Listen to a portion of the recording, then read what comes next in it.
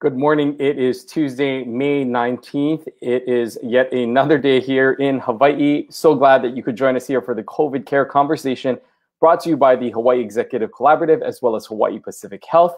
Good morning. I'm Ryan Kalei-Tsuji. And good morning. I'm Yunji de Nies. Thank you so much for being with here with us here on Tuesday. We are so lucky to have Scott Murakami, the director of the Department of Labor and Industrial Relations, joining us. Uh, Tuesdays are always a busy day for us here on this show because so many of you have unemployment questions. We want to get to as many as possible. Um, we do go back and look at the previous week and try to boil down those questions. So please, we know that a lot of you are writing in. Keep continuing to write in your converse, your your questions, and please know that we have gone through all the previous questions. We try to distill those for Director Murakami so that we can have a very productive conversation.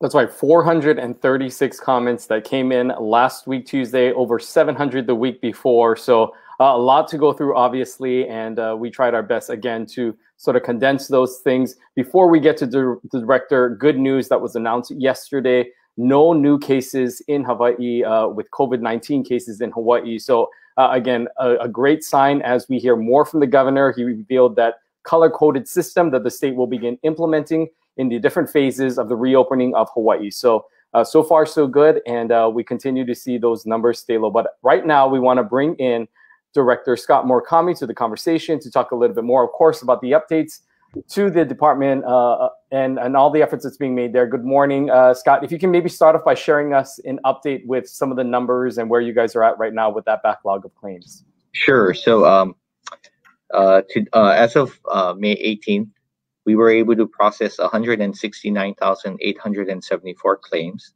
That's 71% of all of the claims that we've received um, of that, we paid out 126,798 claims. We have denied 43,076 claims, and we still have 68,177 claims that are in, in process that we're working on.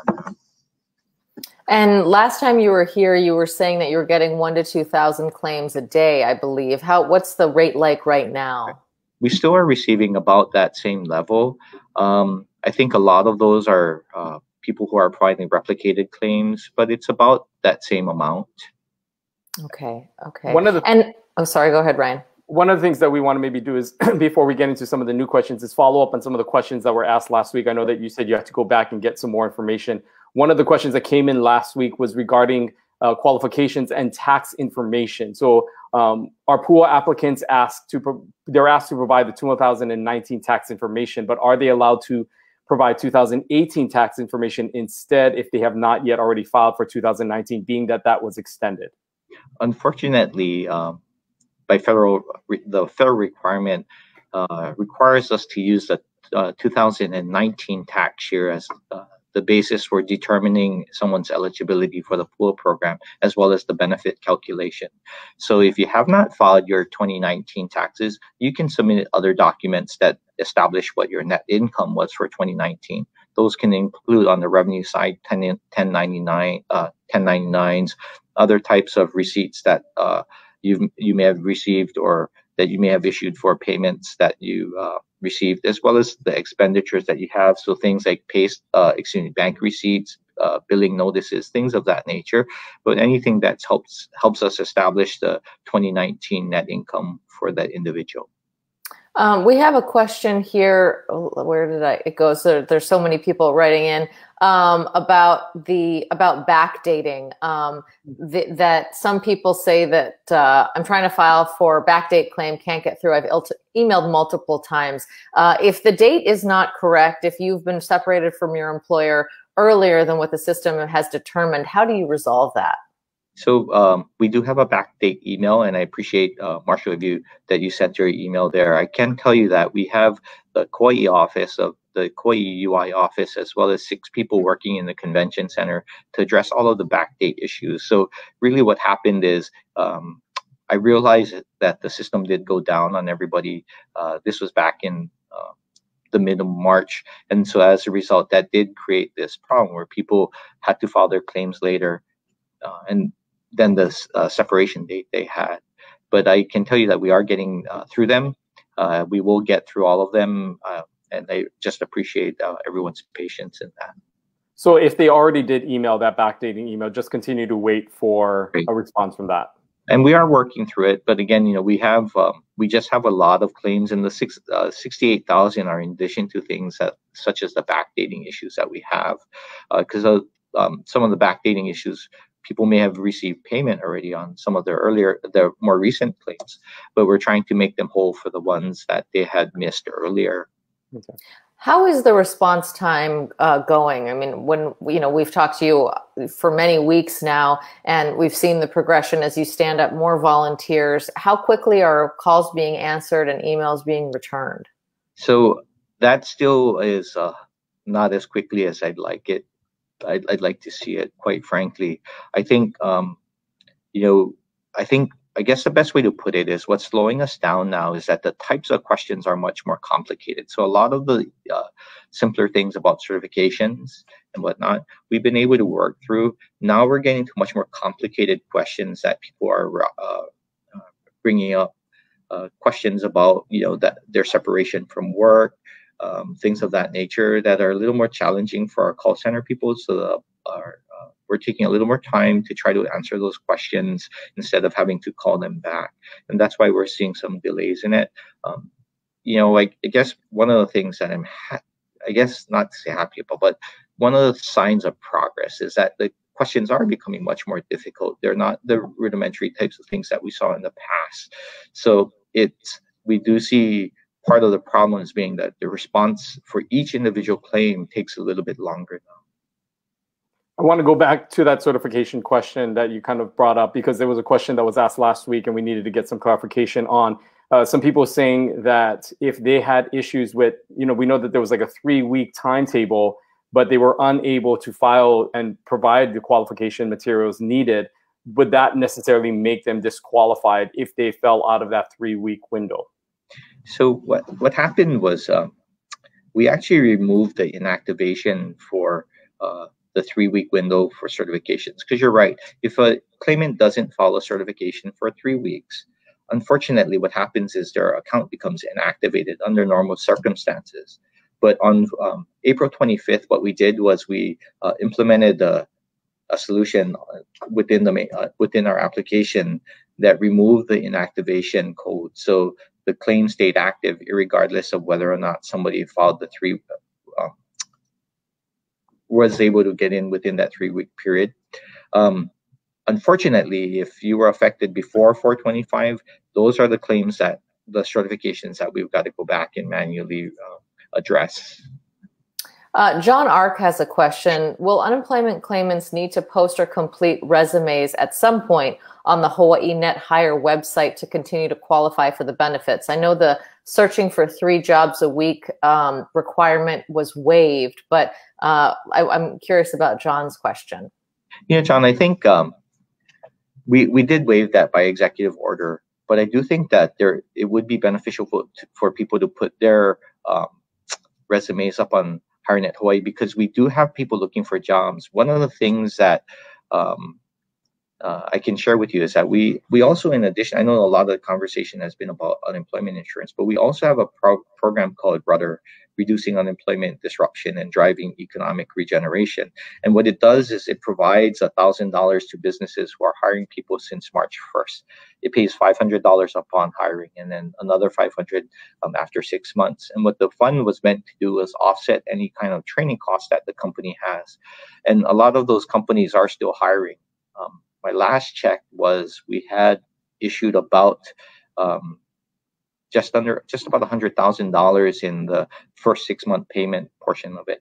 So um, the best way to get recognized by those companies is on HireNet. Now, whether or not that's going to be a requirement or not, I'm, I'll look into that for you and determine whether or not uh, it will be a requirement. Um, I think ultimately we're going to have to at some point have people apply for it or get back on HireNet. I just don't know when that's going to be, John. All right. One of the questions that we had come in uh, that was sent to us last week we, was regarding, of course, the PUA claims and the 1099 workers. Uh, now, one of the questions that came in uh, was from John, and he asked that how do people who are 1099 workers that have multiple jobs and, and for different employers still as an independent contractor file for unemployment benefits? Do they have to fill a different claim for each job or gig, or do they combine all the sources of income together? So we know a lot of musicians maybe have multiple employers or whatever it may be. Right. How do they file? So, um, John, I'm going to make the assumption that all of these jobs that you have are gig jobs, that there are independent contractor, you know, bona fide independent contractor types of jobs, and none of them are wages. So, assuming that um, all of those claims would be compiled and all of those gigs, I guess you could call it, would be compiled, combined together and filed as one claim. Um, so, uh, the best way to look at it isn't from your revenue sources. It really is based on you as an individual because the determination for uh, benefits is calculated on your individual net income. So if you have multiple sources of income coming in, it consolidates to yourself, and then the expenses are run off of that. So that's the best way to look at it. Um, yeah, if you then get called back for a particular gig, let's say, uh, it really determine it. The real determining factor is how much you're actually earning from that gig on a weekly basis. If what you earn on that week exceeds your weekly benefit, then at that point you would uh, your benefit would be uh, would stop. Okay, got it. Um, and so if they were to, um, for those still kind of in that same line of the 1099 workers, um, what if if they get one? So if they get one of those jobs back, uh, but still they are still having um, obviously a, a, lack of income because of other jobs that haven't been submitted. You're just saying that they're going to have to sort of assess and go one at a time as those jobs come back online? Right because the the real issue is um, you can maintain your benefit as long as the weekly benefit um, exceeds the amount that you earn during that week. That's the best way to look at it. And once you've exceeded more than that then you would of course uh, have to uh, uh, you would lose your benefits at that point. Okay. Uh, another question is uh, kind of a simple one, just asking how do people uh, file for back pay? Here we go from Lisa. How do we file for back pay? Um, I, I, know that there's multiple, obviously, factors and, and obviously different ways to do that, but how, how would they, what is the best way to do that? So, Lisa, we do have a back pay website. I sorry, I don't my desk is absolutely mess. But we do have a back pay website, so you can just email us and let us know. Oh, here we go. Uh, let's see. It's back dlir.ui.backdate at hawaii.gov. And we do again have um, people in the convention center, six people in the convention center, as well as the staff on Kauai going through the the uh, those email addresses. Um, Tracy Adams, and excuse me if you guys have covered this. Sorry, I had some connectivity issues here for a second. She says she still hasn't been able to log into the website to certify and attempts to confirm what my login information by phone for three weeks now have been unsuccessful. How do I reach a human to get help with my login ID confirmed and certified to get paid? Gloria, uh, just above there, says, when will you fix the high volume uh, issues, the please try again issues? I, I wonder for both of these, uh, for both of these people writing in, and there are, there are many people who say that they haven't been able to connect. Uh, are there any plans to actually open a physical space where someone could go down and stand in line and talk to a person? I think a lot of people would feel a lot more reassured if they weren't having to go through technology, but they could actually speak face to face. So I can tell you, um, that for our systems now, uh, we are able to receive a significant amount of uh, certifications online. So, for example, this past Sunday, we took in 68,000 certifications and we didn't see any system degradation. So, if you do get the high volume message, uh, please don't quit on it. Um, keep clicking on it a couple of times because it may take one or two tries. You know, if you click on it once and it doesn't work, you're probably doing it during the high volume times. I can tell you if you do it later in the evenings, it seems to work. Um, the traffic is less, I can tell you. But um, but we haven't seen any real system degradation from it. But there is just a lot of traffic. So uh, if you try clicking on it a couple of times or three times, uh, most most people by the third time have been able to get in. Um, I can tell you, uh, Tracy, you're not alone. There, by our data, it's suggesting that there are about 9,000 people who have actually filed claims that are clean, that there's nothing wrong with them, but they haven't filed a weekly certification. And so, um, what we're doing is we have 20 people now in the convention center that are actually calling these individuals and walking them through the process of certifying. So, Tracy, if you're one of the people who's claim has been processed cleanly and you haven't had a chance to certify, I can assure you that we are trying to call those individuals um, up and work with them on how to actually file the certification because it's pretty clear that uh, that they uh, have done everything up to this point accurately. It's just a matter of working with them to make sure they know how uh, that they have to certify and how to actually do that. So, in terms of actually being able to come in in person, do you anticipate the office opening at any point, or are you just put, tabling that for now?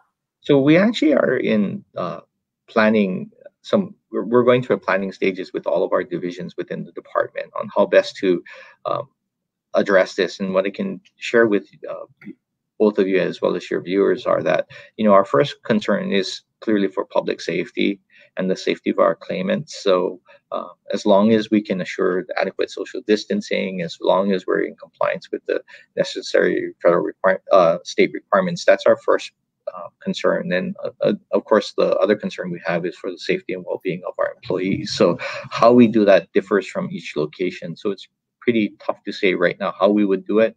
I can tell you we are uh, cognizant of the fact that we're going to have to do that shortly. And we would like to be able to provide services to people in a variety of ways. Um, but uh, until we have a better plan of how we're going to do that and when it's going to happen, yeah, I'll just kind of let you know that we are looking at it. And again, our priority is making sure that the public and our claimants remain safe one of the questions that we seem to get, and there's still a lot of questions around, is with Uber drivers and Lyft drivers. How should they file through this process, and, and what would be the best route for them to go through? So, for Uber and Lyft drivers in particular, just for these two organizations, uh, please file through our normal unemployment insurance program. And the reason is that, you know, I think they're typically considered uh, gig workers or independent contractors. But for the Department of Labor and the application of the unemployment insurance law, we actually have to re- apply uh, specific rules from that are in statute as to whether or not an individual is a covered employee.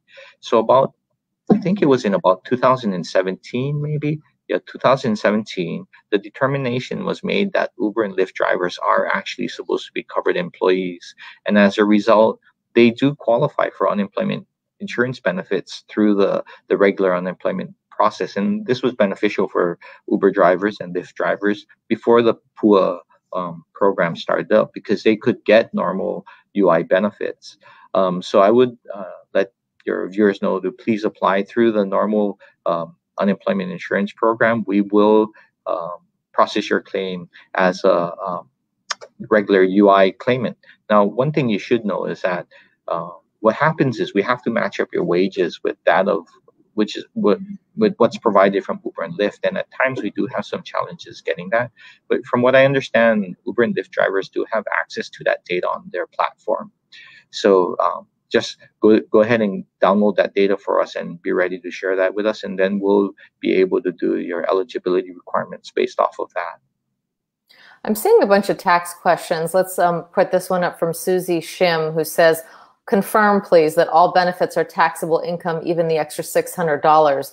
Is it possible to take out, take out the withholding taxes from the weekly benefits now? So um, I shouldn't say it's taxable, it is reportable, I guess is the best way to put it. Um, I believe with the PUA program, there is, you agree to, what was it now? Shoot, I better check on that one just to make sure I get it safe, correct, because I don't want to mess it up. Um, sure. But but I will tell you that it is reportable. Okay, okay, so you potentially are on the hook to pay taxes for it. Correct. Correct.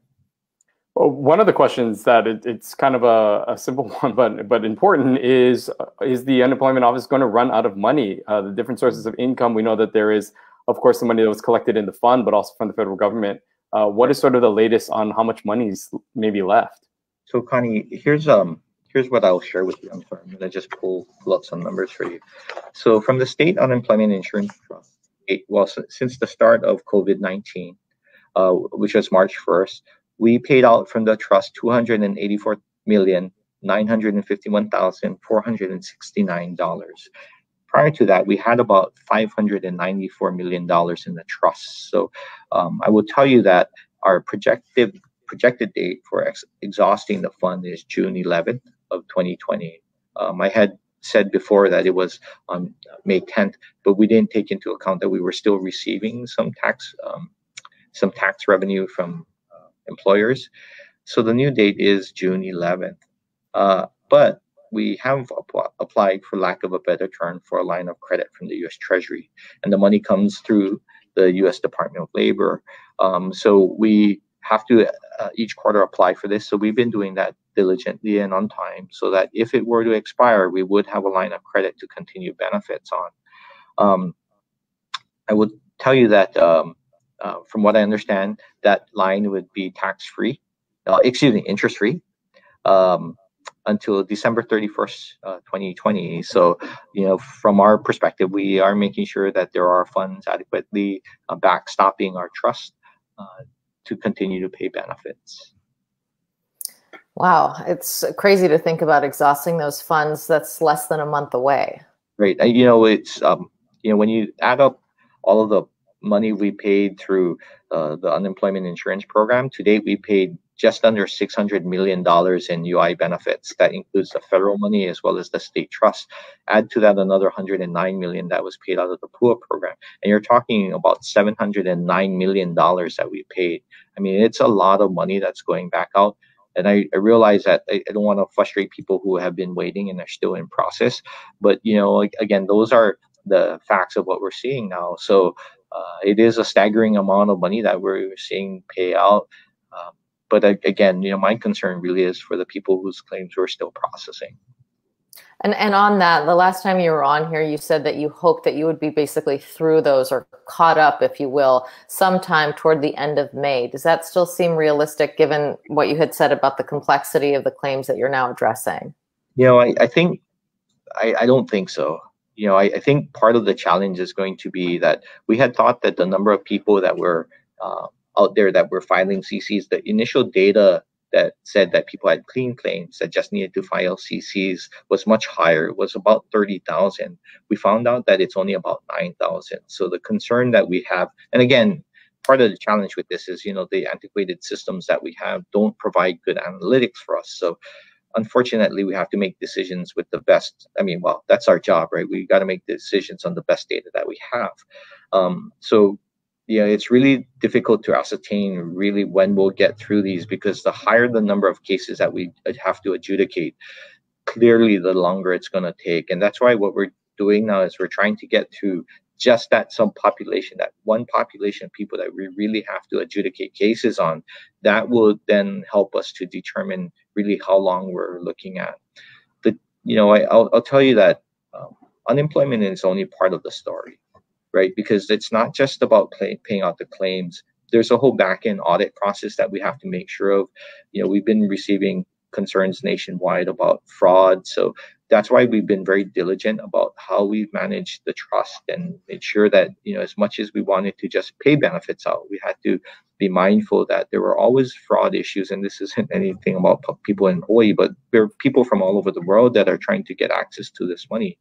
So, you know, we've been very um, diligent about that. But the other portion about unemployment, I think um, one of your um, callers or um, posts had come in about the reemployment of HireNet. You know, actually, the unemployment insurance program is part of what's called the Employment Securities Act, and um, what it does is it doesn't just look at unemployment it looks at reemployment and that's an important thing to remember that you know ultimately what we want to do is get people back to work um, so this whole process of the impact of COVID-19 on the department is going to be very, very um, far-reaching, and it's going to be going on for quite some time.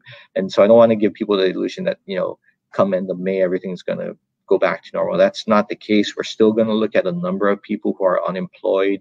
We still have the extension programs going on. We still will have um, you know this will still have to live with the system that we have now. As much as we've been able to modernize the front end and the, the move people off the old web portal onto our new sql environment the reality is that we still have a you know a data structure and an engine that was built in the 1980s that resides on the mainframe. So all of these things are going to um, be with us for quite a while into the future um, I, I, wanted to get, you know, to your point about the complexities and different programs that are trying to keep people employed. One of those is the PPP program. And Lisa Kavai says, if you got a PPP loan, are you still eligible for PUA? Um, that's an interesting question because some people who applied for PPP didn't know if it or not, so they applied for uh, benefits through the PUA system, and now they perhaps have both. So, what is the eligibility there? I'm not sure about PPP. I would have to check on that. Um, yeah, that's a tough one. I, am really not sure. Yeah, that's a tough question. I can look into that and try to get your response next time. If that's okay. Okay. Okay, we'll make sure that we follow up um, with that. One, you know, another question that we got in uh, from Derek was regarding sort of the, the people that are calling back. Um, and he said that he's called the hotline four times, uh, and they keep uh, the people that he's spoken to said an examiner will contact him regarding his claim. And again, he was another one uh, in the Uber and Lyft sort of situation. Uh, what would you recommend with that? Um, he said he's been waiting eight weeks since he's had any income or has received since his initial claim. Um, what is the difference? What is the examiner compared to maybe somebody else, and, and what is that backlog, or what does that look like?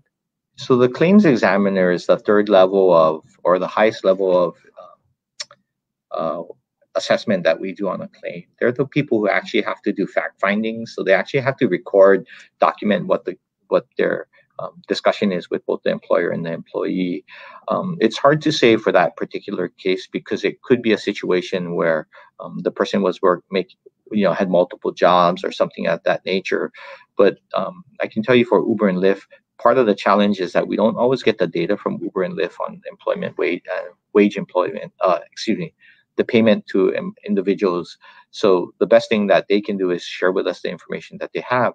But that situation, uh, once they're at the claims examination portion, it is at the highest level of, um, of complexity that we would have in a case, uh, claim. And that's one of the people who are um, going to have to wait through the adjudication process. And we are trying to get more people who can do that. But it is, uh, um, it's not an easy thing to do. It is both uh, slow and arduous process, but it actually requires them to render a decision that can be appealed and then subsequently uh, it can be challenged uh, through a private right of action by the individual, both on the employer side and the employee side.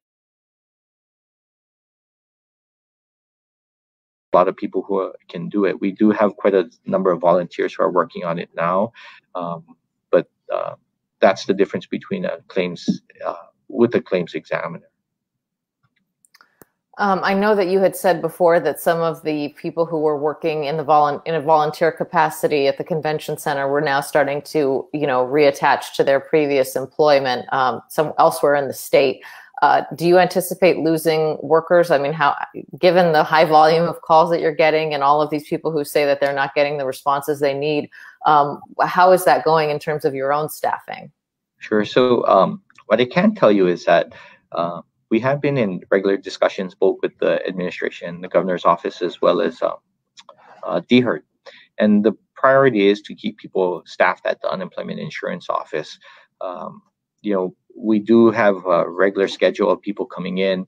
We always can use more volu- uh, more people helping us. So um, you know they are doing everything they can to send people our way but as time proceed pro- progresses i would imagine that people will have to go back to their desks and do do some work we are looking at ways in which we could do that remotely outside of the convention center but yeah right now um, my big concern is the time that we have left to actually process as many claims as we can Okay, we know that you uh, again are very busy, and again we appreciate you just taking the time to join us. We unfortunately are are out of time. Um, and we apologize again, so many questions coming in. We will once again try to get some of these answered uh, and, and consolidate as much as we can next week. But uh, Director Scott Murakami, thank you so much for joining us once again. And uh, we look forward to another update next week. Thank you. Aloha. Thank you. Aloha. We still see a lot of questions coming in um, for things that we addressed earlier. So as soon as this uh, live stream ends, please go watch from the beginning some questions about taxable taxability and whatnot. Just remember that anything that you do receive is reportable. So it depends on how much income you generate, but uh, that does mean that it could potentially be taxed. So keep that in mind as you start to get these benefits. We know a lot of you are frustrated. We appreciate all your questions. Please, you know, if we didn't get to something that you want covered, please write and let us know. Like that PPP question, we'll be asking that next week. I mean, the wonderful thing is that Director Murakami has made himself available and we can, can continue this conversation week to week and hopefully get as many of your questions answered as possible. That's right. And again, I, I think that there are still some questions around uh, the PUA program as well. A lot of people still asking about those. So we will make sure that we follow up and uh, do our best once again to consolidate all of that. Uh, in uh, in other news, of course, we'd like to always end with some happier news and highlight some of the heroes and the people doing good things in our community. And uh, this one, we're focusing today on Hawaii Island. That's right. Activate Hawaii Aid is a coordinated emergency response to the needs right here on Hawaii Island. They are doing a feed the people. Oh, we got to squeeze to this side. Um, feed the people drive. So you, uh, I've gone onto their website. It's really amazing. You go to uh, activatehawaiiaid.org and you can fill out a form if you need help, if you need food. They're doing these food packets, um, or if you want to donate in some capacity, maybe you want to help drop off. There are so many um, elderly folks on this island that need that that don't necessarily have access to transportation, or because of COVID, it's dangerous for them to go out. So they're really trying to um, link to resources with people who can help provide them. Another thing that they're doing is Keiki Care Packs. Uh, these include you know snacks and they also non-perishable food coloring sheets and re resources to help kids better understand the pandemic as well as materials to support parents to help engage their kids and cope with the stress of living through this pandemic we're seeing so many families you know being inside without having school to keep the children occupied. So these Keiki packs um, are wonderful ways to engage kids and give parents some ideas on, on how to spend that time with kids at home. So we mahalo activate hawaiiaid.org. Uh, they've partnered with the Chefs Hui along with a number of organizations, including the Hawaii Community Foundation. They're doing great work here on the Big Island. So again, check out their website, activate Hawaii Date Oh, activatehawaiiaid.org. Uh, the other thing, Ryan, that we want to also uh, remind people about is that there's a food distribution happening tomorrow in Honolulu. That's right. We've seen the large uh, number of people that go there, the lines that have uh, been meeting those distributors each and every week. Uh, again, that will be happening tomorrow at Aloha Stadium beginning at 10 a.m. You can get more information at the Food Bank's website that we have listed there below. And again, this is sort of something that has become a weekly routine there. Wednesday and Fridays, they seem to be doing it at Aloha Stadium. We also saw it though at Leeward Community College. So uh, they're sort of maybe moving around, but right now, again, tomorrow's one will be at Aloha Stadium. You won't be able to get food from 10 o'clock, but we do have have heard stories of people lining up as early as 7 a.m. So expect to sort of wait if you're going to be in those long lines. But again, we mahalo the Hawaii Food Bank as well as their partners for doing this uh, again this bi-weekly food distribution. Yeah, and that food distribution, they really recommend making sure that you have a full tank of gas and that you, you know, maybe come two to three people in a car, uh, heads of households. You do have to prove that you are from different households um, and have your trunk clean and empty so they can just put the food right in there. It's 50 pounds of fruits, vegetables, eggs, milk, and meat. So a really nice size package for people, but you do have to wait in line. So pack your patience and we really appreciate all the volunteers who are out there helping to make this possible because we know that so many families are relying on this food aid right now. That's right. And tomorrow we will be back once again with a our ask the doctor series. We're actually going to be focusing on kids and pediatric doctors and the impact that this has had on children. Uh, but not only just of course the impact of covid but just overall the, the mental health of children during this time. So we'll be talking to Dr. King from Hawaii Pacific Health, who will be joining us. And then on Thursday, we'll be speaking to Dr. Sarah Park. Yeah, we really look forward to talking to both of those doctors. Uh, Dr. King is going to help us with how to make sure that our kids are staying healthy through the pandemic. And Dr. Park will tell us how to keep our community healthy. She's, of course, the state epidemiologist. We're going to be talking to her a lot about testing and contact tracing as we move into this next phase of reopening our community. How do we do that safely? And how does the state continue to make sure that we're tracking COVID in our community? Right. So again, a busy week, and we appreciate everybody for tuning in. Once again, we'd like to thank our partners, the Hawaii Executive Collaborative, as well as Hawaii Pacific Health, for bringing you this conversation. Again, we apologize that we didn't get to every single question. Uh, we always know that Director Murakami has a lot of questions, and we try our best to cover as much ground as possible. We encourage you to go back and watch past episodes, as many of the questions that were asked later in the show were actually answered in weeks prior. So we hope that you might find your answer there. And uh, good luck. We know that it's a long wait for many people and that you continue to keep calling and emailing, but uh, hopefully you get some answers soon. And we'll continue to provide you as much support as we can as well. Until tomorrow at 10:30, we'll say aloha and see you then. Aloha.